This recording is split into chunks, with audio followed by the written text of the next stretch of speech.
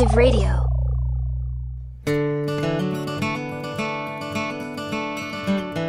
You are listening to Texas History Lessons, a slow walk through Texas history made in Texas by a Texan for everyone everywhere.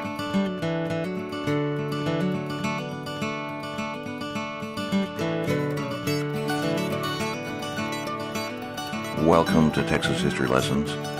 I'm Michael, and in the three previous episodes, I've taken a look at the Second Battle of Adobe Walls that began on June 27, 1874. In the first, we pretty much just had a brief summary that you could get from any normal Texas history text or a reference book with a little bit extra.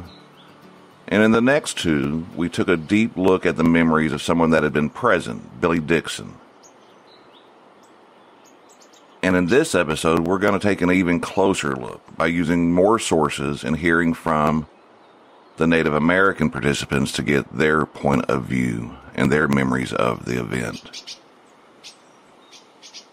So let's travel back to May 1874 to visit a once mighty Comanche leader who had witnessed the decades of waning power of his people as he falls ill on Elk Creek in Indian Territory. For many years, the man had been a mighty warrior and provider for his people. To them, he was known as Para Okum. To the people pushing into his lands, he was known as He Bear or Bull Bear. The people, the Numina, as they called themselves, or Comanches as others knew them, were readying for war. After the Americans had ended fighting each other from 1861 to 1865, they had turned their focus back to their expansion westward. But the people and the other nations of the plains stood in the way. Delegates from the United States had brought thousands of them together near Medicine Lodge Creek in Kansas in late 1867. The people, the Numina, the Comanches, were there as were the Kiowa, the Arapaho, Kiowa Apache, and the Southern Cheyenne. United States Indian Peace Commission negotiated three treaties there at Medicine Lodge Creek. One with the Kiowa and Comanche. The second treaty confederated the Plains Apaches, Kiowa Apaches, with the Kiowa and the Comanche. The third was with the Arapaho and Cheyenne and the treaties were agreements in which the United States offered peace and protection from white encroachers on the people's lands if the tribes would be peaceful also and settle on reservations in western Indian Territory. Para Okum, Bull Bear, was camped near Medicine Lodge Creek with his Quahati band, but he did not attend the councils, and he refused to consider signing any treaty it said that he repeatedly stated that he would consider following the white man's road when the horse soldiers came out and defeated him in battle on the plains. Now, writing in 1866, General Randolph B. Marcy had this to say of the people. Their, meaning Comanche, government is essentially patriarchal, guided by wise and fraternal councils. They are insensible to the wants and luxuries of civilization and know neither poverty nor riches, vice or virtue, and are alike exempt from the deplorable vicissitudes of fortune. Theirs is a happy state of social equality, which knows not the perplexities of political ambition or the crimes of avarice. Now, in May of 1874, camped on Elk Creek, south of the Wichita Mountains in southwestern Indian Territory, the people were readying for war. Normally, Para Okum would have been involved. Instead, he was deathly ill with pneumonia. Instead, a younger generation was taking the helm. Two young men were especially active. One, a young prophet named Esate. The other, a young warrior, Quanah, son of Peta Nocona and Cynthia Ann Parker, who had been taken from her Parker family in 1836 by the Comanches and from her Comanche family by the Texans in 1860. Quanah himself had been born about 1850, Some think possibly as early as 1845. We don't know, and Quanah himself wasn't sure. He speculated on the 1850 date later in life. And Isate was perhaps a little older.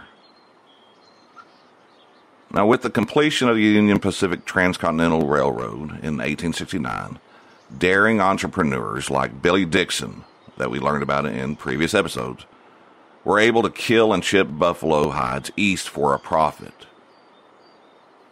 Now, another buffalo hunter, Josiah Wright Mooar, had started hunting buffalo in the area of Dodge City after working cutting cordwood and killing buffalo for meat in 1870.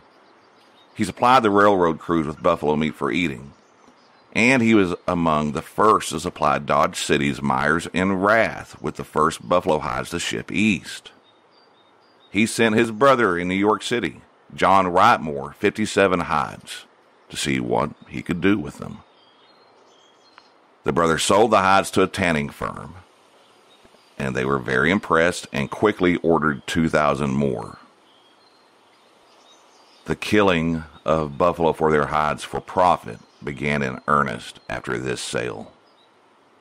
J. Wright Mooar and another man named Steele Frazier checked with Colonel Richard Dodge, who was commander of the troops at Fort Dodge, to see if the Texas Panhandle was off limits.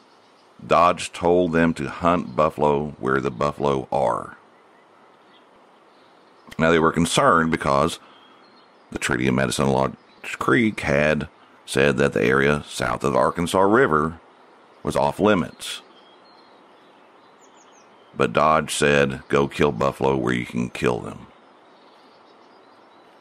So the Mooar brothers scouted the Texas Panhandle in 1873 and established a hunting camp on the Canadian River, from where they set out to kill buffalo despite dangerous encounters with hostile indigenous people. James Hamilton Cator and his brother were also testing the area and found success, as did others. And so we get to the Dodge City merchants and hunters like Billy Dixon and Bat Masterson and others who were attracted to the area, and the Adobe Walls trading post was born again. Merchants and hunters in Dodge City decided to establish a supply center and a place to sell hides and resupply at the old Adobe Walls post. A.C. Myers was a leader in the plan and Billy Dixon led the merchants and hunters to the new settlement. As Bill Neeley explains in his biography of Quanah Parker, German born Charles Rath and his business partner Robert M. Wright decided to build a combination store and restaurant at Adobe Walls on a wide prairie that gradually sloped to a little creek and south to the Canadian River in the Texas Panhandle. As you know, this was the site of William Bent's old trading post from the 1840s that had been the site of the first Battle of Adobe Walls 10 years before in 1864. Rath and several employees set out in late April 1874 and freighted about $20,000 worth of goods to the site. After arriving on May the 1st, the Rath and Company crew built a mostly sod facility with a three room store, corral, and outhouse. Rath left for Dodge City with most of his crew on May 20th when the building was nearly completed. In addition to Rath and Company's buildings, a number of log buildings were built and surrounded with an eight foot high corral fence made from cottonwood tree trunks that they had harvested from nearby creeks. As Bill Neeley describes the setting, Myers and Leonard's store of picket construction was on the extreme north of the little cluster of buildings that had been raised on the windswept prairie. About 300 feet to the south was Hanrahan Saloon, made of adobe, as was Rath and Wright's store, just over 200 feet south of the saloon. In addition, there were O'Keefe's blacksmith shop and two outbuildings. So there were two stores, a blacksmith shop, and a saloon and the location served as a place for buffalo hunters to sell their hides and have them shipped out and for them to stock up with supplies. Buffalo hunters like Billy Dixon came to kill the buffalo, and the place was an insult to the people. The words of Kiowa Chief Kicking Bird shares the attitude of the Plains nations. He said, The buffalo is our money. It is our only resource with which to buy what we need and do not receive from the government the robes we can prepare in trade. We love them just as the white man does his money. Just as it makes a white man's heart feel to have his money carried away, so it makes us feel to see others killing and stealing our buffaloes, which are our cattle given to us by the great Father above, to provide us meat to eat and means to get things to wear. And so, in retaliation, the people of the plains began to kill the killers of the buffalo wherever they found them. Which gets us back to Pero Coon, Esate, Quanah, and the Comanches on Elk Creek in Indian Territory. At first, Quanah had wanted to wage a revenge raid against the Tonkawas, who had killed a close friend of his. He first visited the Noconi band on Cache Creek and carried his pipe around to enlist warriors. He then traveled to visit the Kiowas and Quahada Comanches on Elk Creek. He visited more Comanches and Cheyennes camped on the Washita. And it was there the old man had advice for Quanah. Otterbelt, White Wolf, and Coon, who apparently hadn't fallen too ill by this point, advised that he first go against the buffalo hunters at Adobe Walls and then go kill in Texas. And Quanah found a motivating ally in Esate. Now, Esate, or Isate, whose name has as many spellings as it does translations I S A T A I apostrophe I, I S A T A I, and E S C H I T I, and translations like rear end of a wolf, coyote droppings, and some more colorful ones, was ready to take action. He and Quanah called a council at the junction of Elk Creek and the North Fork of the Red River for the Comanches where they would do something that had never been done before by the Comanches, perform the sun dance that other plains people already practice. Kiowas, Cheyennes, and Arapahoes came to the event. Now, Thomas Battey, a missionary and teacher, had this to say of Isate. This young medicine man makes bold pretensions. He claims that he has raised the dead to life. He is reported to have raised from his stomach nearly a wagon load of cartridges at one time, in the presence of several Comanches. He then swallowed them again, informing the Comanches that they need not fear the expenditure of ammunition in carrying on a war against the whites, as he can supply all their needs in that line. He can make medicine which will render it impossible for a Comanche to be killed, even though he stands just before the muzzle of the white man's guns. He ascends above the clouds, far beyond the sun, the home of the Great Spirit, with whom he has often conversed. Isate promised invincibility against the superior firepower of the buffalo hunters. Quanah himself remembered some of what was going on as follows. He said, Esate make big talk that time. Lots white men. I stop the bullets in gun bullets not penetrate shirts. We kill them just like old women. God told me truth. Before that, pretty good medicine Esate. He sit down, away, listen. God talk to him. Maybe so 50 miles over there, a little creek. I see soldiers. We go kill them. Pretty soon truce. This time he listen what God tell him. Zoe Tilghman wrote of Esate's actions at Elk Creek, describing him as a young and vigorous man that did not wear a buffalo skull cap or ceremonial mask like many of the older medicine men. He stood up with only a breechcloth and moccasins on, with a wide sash of red cloth tied around his waist, and he had a red tipped hawk's feather in his hair. Hanging from each ear was also a snake rattle. Now, I want to call back, and this is the problem with memory. Billy Dixon described him as an old prophet. He actually was a young man at this time. And Tilghman went on to describe more.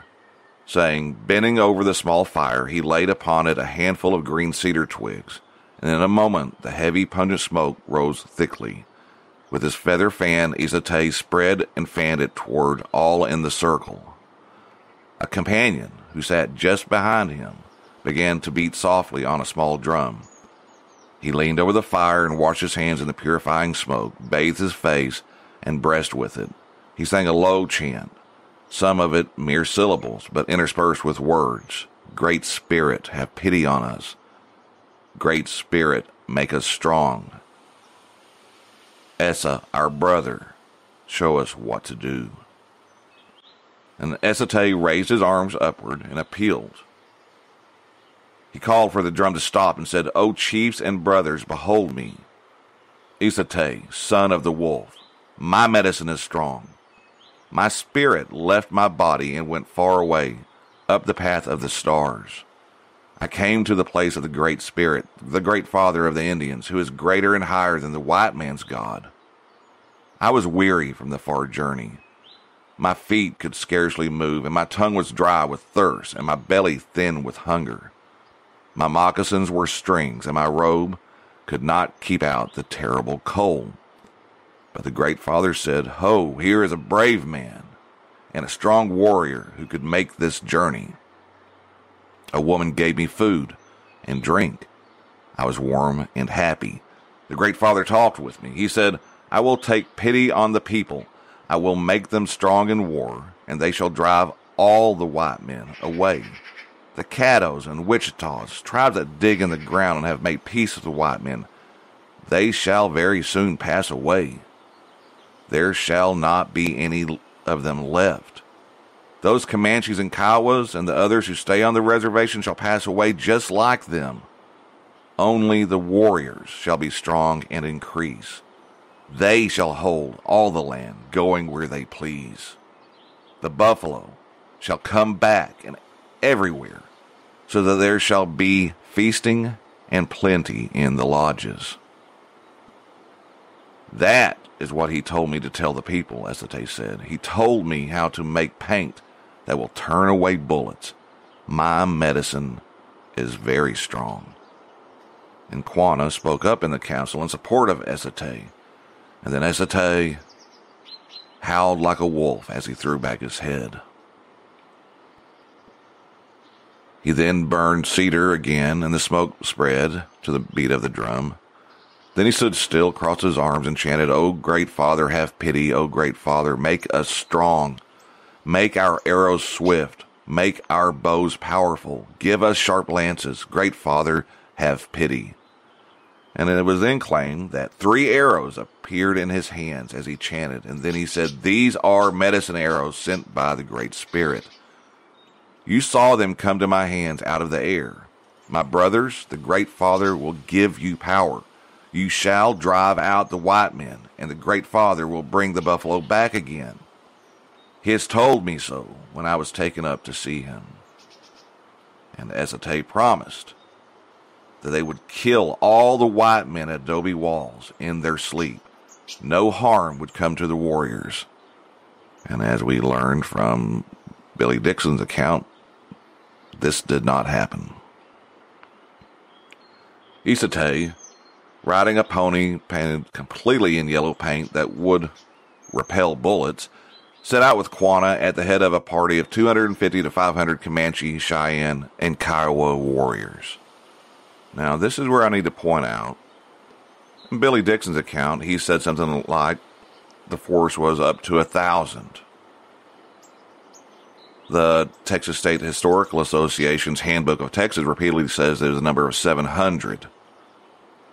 Other accounts I've seen have been somewhere between 250 and 500. The problem is there was no census of the warriors or list of everybody that went. And in Billy Dixon's defense, it probably seemed like there were a thousand warriors outside the walls. Let's just say it was a sizable amount and move on. That's part of the problems also with memory is sometimes things aren't recalled exactly correct. So Esate sets out with Quanah with anywhere from 250 to 700 Comanche, Cheyenne, Kiowa warriors. And people like Stonecalf and Red Moon of the Cheyennes traveled with them, as did Kiowa leaders Lone Wolf and Woman's Heart. Sentante, White Horse, that we learned about in a previous episode, said by some to be the most dangerous man in the Kiowa nation, he rode with them. Satanta, out on parole, also rode with them. It said that he did not participate, but it was only there to lend support, moral support, because it would be a violation of his parole to fight. Birdbow, White Shield, and Howling Wolf also traveled with the group. And as I said, there are often contradictory reports. Some say that Pero Coon traveled with the war party, but it is unlikely because sometime during the council he had fallen ill with pneumonia. Spring was late in coming that year, and it was colder. And most of what we know about Pero Coon, Bull Bear, came from his son Timbo, and he stated that he died while they were gone to attack the buffalo hunters on June 27, 1874. As they travel across the northern panhandle of Texas, they killed a few buffalo hunters before gathering in the dark at a little creek near the trading post. One of the directions Isate had given the warriors is that they must not kill a skunk as they journeyed to attack. Now, this is kind of a strange rule since skunk meat apparently was enjoyed by the people of the southern plains. And later he learned after the battle that a group of Cheyenne warriors had indeed killed a skunk on the journey. Would he have called off the attack had he known beforehand? That's something we won't know. Now, the plan was to catch the people of Adobe Walls asleep. It would be an easy kill. Unbeknownst to the warriors, many of the men at the trading post had been up most of the night trying to fix a beam in Hanrahan's saloon. Remember what Billy Dixon remembered? That after the fight, they could find no damage to the beam, though? Now, there's a chance that Hanrahan had been warned and had made up the broken beam to have the men awake and prepared. Better to pretend the beam was broken than wake up a bunch of drunk and very tired buffalo hunters that might get a little bit angry. But this is all still speculation. We don't really know other than what's been reported.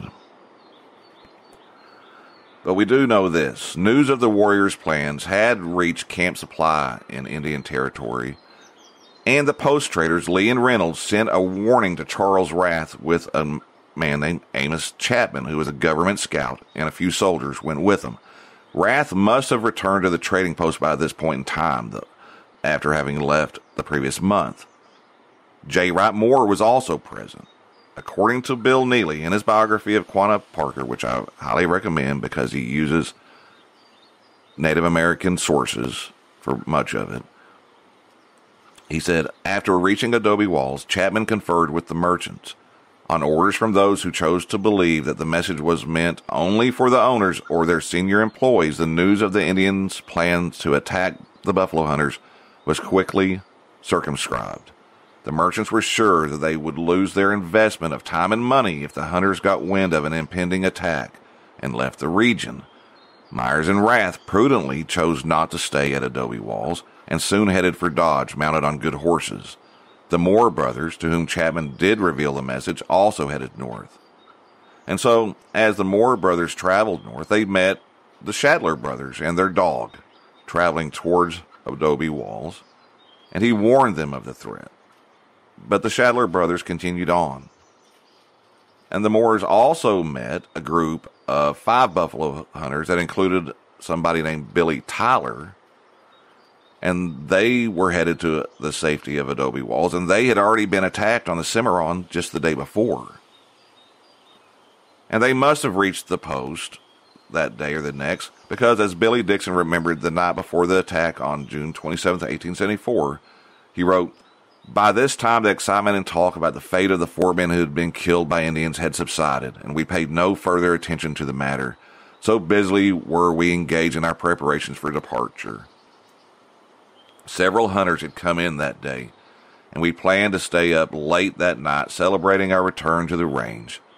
telling stories of past experiences and joking about how much money we would have when the hunt was over. He continues, The night was sultry and we sat with open doors. In all the vast wilderness, ours were the only lights save the stars that glittered above us. There was just a handful of us out there on the plains, each bound to the other by the common tie, standing together in the face of any danger that threatened us. It was a simple code, but the best I know of.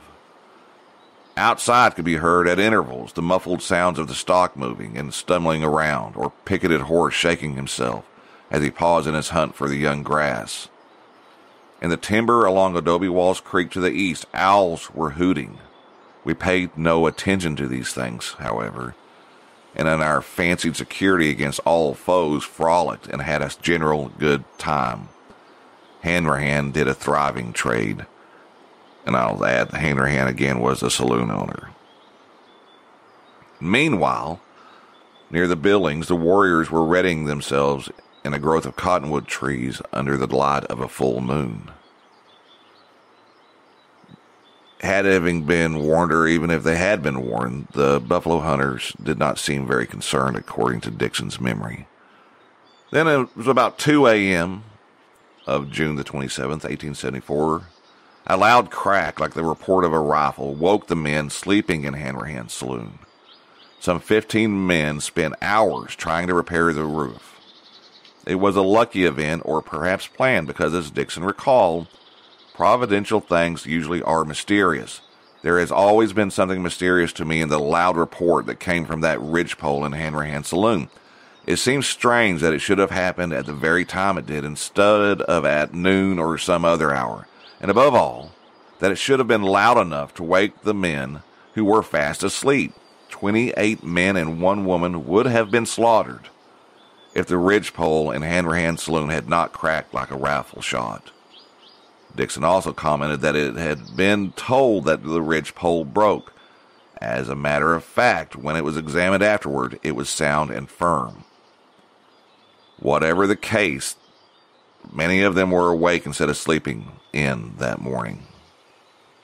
Once repairs had been made Dawn was now close at hand, and Hanrahan suggested to Dixon that they get an early start with hunting, and Dixon agreed. Dixon had made an arrangement to team up with Hanrahan because he could kill enough buffalo in a day to keep many, many more men than he had busy skinning them. And some of the others went back to sleep. Now, as I said, the afternoon before, unbeknownst to the buffalo hunters, Asate, Quanah, and the warriors had arrived near the trading post, and Quanah described the event for us. He said that they put their saddles and blankets in trees and hobbled their extra ponies before making medicine, painting their faces, and putting on war bonnets. Then they traveled even closer until they were close to a red hill near a little creek near the post. Some slept, others smoked. Near morning light, they formed a line and slowly moved closer until the order to charge was given. Now, it was about this time that Billy Dixon had sent Billy Ogg, his helper, to fetch the horses from the creek. Dixon remembered the following Turning to my bed, I rolled it up and threw it on the front of my wagon. As I turned to pick up my gun, which lay on the ground, I looked in the direction of our horses. They were in sight. Something else caught my eye, just beyond the horses. At the edge of some timber was a large body of objects advancing vaguely in the dusky dawn toward our stock and in the direction of adobe walls. Though keen of vision, I could not make out what the objects were, even by straining my eyes. Then I was thunderstruck. The black body of moving objects suddenly spread out like a fan, and from it went up one single solid yell, a war whoop, that seemed to shake the very air of the early morning. Then came the thudding roar of running horses and the hideous cries of the individual warriors, each embarked in the onslaught. I could see that hundreds of Indians were coming. Had it not been for the ridgepole, all of us would have been asleep. Quanah remembered that the charging horsemen made a high cloud of dust as they rushed towards the adobe walls trading post. Dixon adds more to the vivid picture of the attack. There was never a more splendid barbaric sight, and after years I was glad that I had seen it. Hundreds of warriors, the flower of the fighting men of the southwestern plains tribes, mounted upon their finest horses, armed with guns and lances, and carrying heavy shields of thick buffalo hide, were coming like the wind.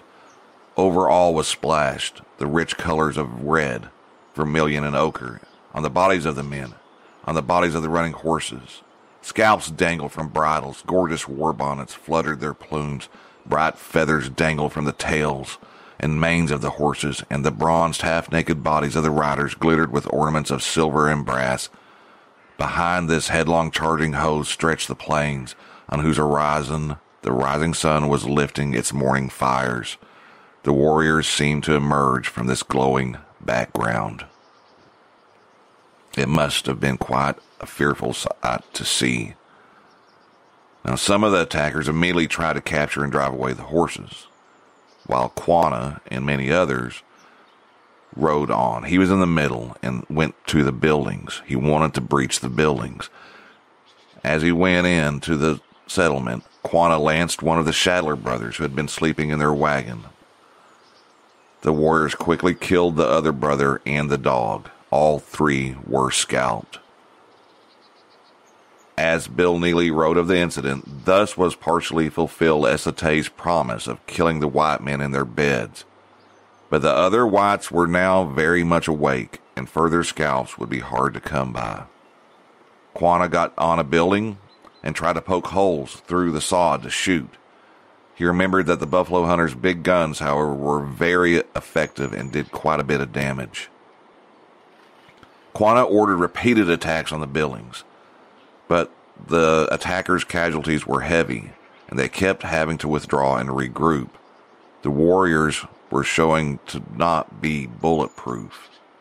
And Quanah himself often led the charges. Once he tried to break open a door of a building by backing his horse hard against it, but he failed and avoided getting shot. The attacks continued until about noon, killing another man. The attackers had killed Billy Tyler when he tried to aid the distressed animals in the corral near Myers and Leonard's store. A fourth defender, if you remember from Billy Dixon's memories, Mr. Olds later accidentally killed himself by the accidental discharge of his own gun. Under heavy fire in front of Rath's store, Quanah rescued a Comanche comrade named Ho Howeha. But things weren't going that well for the attackers, and then started getting worse. A bullet penetrated Quanah's shield of medicine paint that Esate had readied for him. Billy Dixon's memories contribute here. Time and again, with the fury of a whirlwind, the Indians charged upon the building, only to sustain greater losses than they were able to inflict. This was a losing game, and if the Indians kept it up, we stood a fair chance of killing most of them. I'm sure we surprised the Indians as badly as they surprised us. They expected to find us asleep, unprepared for an attack. Their medicine man had told them that all they would have to do would be to come to adobe walls and knock us on the head with sticks, and that our bullets would not be strong enough to break an Indian's skin. On another charge, Quanah's horse was shot out from under him.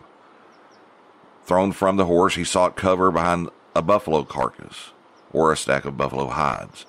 A bullet hit the buffalo powder horn swinging from his shoulder, and the bullet deflected and hit him in the side. The horn most likely saved Quanah's life. Wounded, he crawled to a plum thicket where he remained until a mounted warrior scooped him up off the ground and took him to safety. Now, Quanah, the war leader, his injury slowed the intensity of the attack, and the charges ended about noon. After that, the warriors just started circling the buildings and firing. Now, the older chiefs that had not been involved in the attack, they held a council to find out who had shot Quanah, but none of the warriors admitted to shooting their leader. How could he have been hit? By mid afternoon, the warriors circled wider and wider as the buffalo guns kept threatening them with their long range. And about four o'clock in the afternoon, things had calmed down enough to where Dixon and some of the other men took a chance and traveled outside the buildings. They gathered up some mementos from the fight and found that the attackers had killed or driven away all of their horses. They were stranded on foot. Things slowed down a little bit. The attackers having pulled back, driven away by the heavy firing buffalo guns. The defenders took time then to bury the Shadler brothers and Billy Tyler. And then they cut the heads off the dead warriors that were laying nearby, and they placed them in stakes around adobe walls. And they dragged the headless bodies away from the buildings on buffalo robes, and then did the same with several dead horses. And they ended up burying 12 dead animals in just a pile. The next day, the defenders saw several warriors appear on a bluff across the valley east of the trading post. They fired at them, and the warriors disappeared. And Dixon remembers this time period as being very, pretty gloomy. With every horse dead or captured, we felt pretty sore all around. The Indians were somewhere close at hand, watching our every movement. We were depressed with the melancholy feeling that probably all the hunters out in the camps had been killed. Late that afternoon, our spirits leaped when we saw a team coming up the valley from the direction of the Canadian. Buffalo hunters, including Jim and Bob Cator, were starting to arrive to help in the defense. And that day they decided they were going to try to send a rider to Dodge for help. The attackers also held a council on the second day, and they really wanted to know why had the attack failed. Esate blamed the failure on the fact that some Cheyennes had killed a skunk. Tilghman explained the following. The council was assembled on a lower slope with the crest of the ridge between them and the fort out of sight, as they considered too far for effective gunfire, even if on a level. The pony of Isate, wearing the protective painting that its owner declared would ward off arrows or bullets, stood by. Suddenly, its head jerked. It staggered and fell, blood oozing from a hole in its forehead. In a moment, it was dead. The mark of the heavy buffalo slug was unmistakable. The pony had been killed by a shot from the plainsmen's guns coming over the hill. Now, this was the end of the power of Esate as a prophet. That night, small groups of warriors began to depart. On the third day, the attackers held another council, and after it, Quanah, Stonecalf, White Shield, and about 20 other warriors rode to the top of the butte beyond East Adobe Walls Creek. The defenders saw them, and this is when Billy Dixon made his famous shot. As Dixon remembered, some of the boys suggested that I try my big 50 on them. The distance was not far from three quarters of a mile. A number of exaggerated accounts have been written about this incident. I took careful aim and pulled the trigger. We saw an Indian fall from his horse. The others dashed out of sight behind a clump of timber. Now, much later, a Comanche named Ko Hai Ya remembered the battle and Dixon's shot, but he did not mention Esate or the medicine. He summed it up like this We lost the fight. The buffalo hunters were too much for us. They stood behind adobe walls. They had telescopes on their guns. Sometimes we would be standing way off, resting and hardly thinking of the fight, and they would kill our horses. One of our men was knocked off his horse by a spent bullet fired at a range of about a mile. It stunned but did not kill him. All in all, the warriors had lost about 15 to 30 to death. Estimates vary. Most, most of what I've seen say closer to 13 or 15 dead. Many, many more had been wounded. And that was the end. Word spread, and other buffalo hunters came to the rescue. By the fifth day, when the plains attackers withdrew from the fight entirely, there were more than 100 defenders at Adobe Walls. As Quanah put it, pretty soon all go back, get saddles and bridles, and go to village. I take all young men, go warpath to Texas.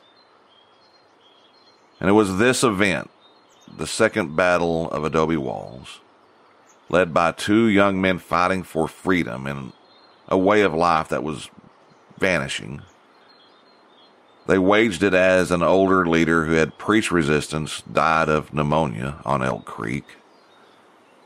And this event proved to be the final deciding factor in their future. The peace policy was over after this and a number of other events that had happened in previous years. This was the end. Now it would be time for a brutal, brutal war. Not long after the Second Battle of Adobe Walls, the United States military launched the Red River War of 1874 to 1875. The campaign which destroyed the Plains people's horse herds, their wealth, and their pursuit across the plains into Palo Duro Canyon was a campaign of attrition and death. It led to the Plains tribes settling on their reservations near Fort Sill in Indian Territory. The slaughter of the buffalo would continue, and cattlemen like Charles Goodnight would replace them with cattle. It was not the end of the tale of Quanah or Esate, however. Now, the battle was really where Quanah first gained notice by his enemies as a leader, and this was really the beginning of decades in which Quanah would play an important role in the history of his people and of the West. And Esate, though viewed later as a comical fellow by the people, he'd be present there too, causing some problems for Quanah. And there's more to the story of Billy Dixon and many of the other people named here. But those are stories for another day. That's going to do it for us today. Thank you for listening. Let's take a quick break before we come back and have some closing comments and wrap up the show. I want to thank Patreon supporters for supporting the show. I want to thank people that click on that link in the show notes and buy me a cup of coffee. It is appreciated. So that does it. That's a summary. That's a more in depth look at the second battle of Adobe Walls. It just opens up more questions personally for me that I'm going to try to pursue and dig deeper into little tangent stories someday in the future. Hope you're enjoying it. Uh, thanks for listening again. I'd like to remind you that the theme music is, of course, by the great Derrick McClendon, Walking Through History. Be sure to check out his songs everywhere especially his most recent album that's amazing, Interstate Daydreamer. I want to remind you that Zach Welch has a new single out, Drunken Ramblings, a hopeless romantic.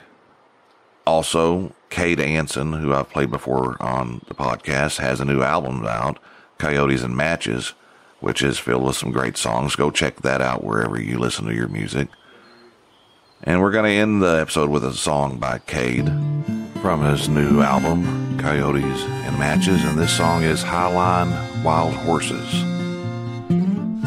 Thanks again for listening. Take care of yourself, take care of each other. Be kind. Adios. His hands were callous from a long life on the range. Yeah, he taught me about life and he taught me how to drink.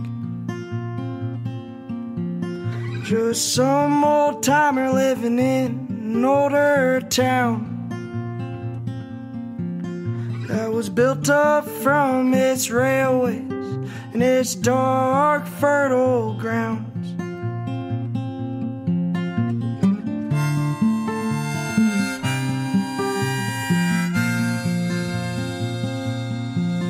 Well, from a young age, he's been living off this land.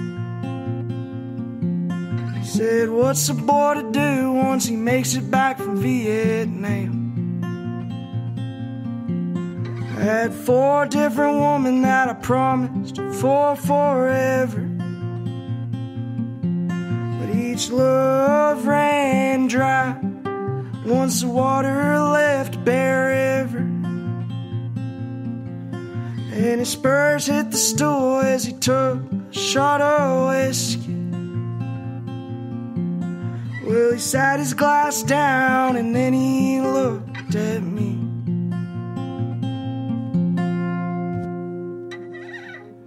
He said, Highline wild horses and a rambling man's ways are the two things you don't dare try and change. Well, one is never destined to be broken while the other's never meant to be tamed. Well, highline wild horses in a rambling man's ways.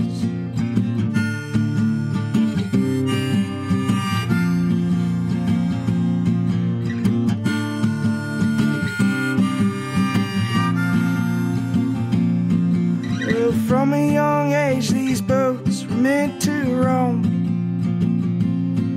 Now they're worn down at the seams and they're tearing at the soles. But I'll still hang my hat as I shoot out the rising sun. Said, boy, some things in life, some men just can't outrun. Like highline wild horses in a rambling man's ways. Are the two things you don't dare try and change. Well, one is never destined to be broken, while the other's never meant to be tamed. Well, highline wild horses and rambling man's ways are the two things you don't dare try and change.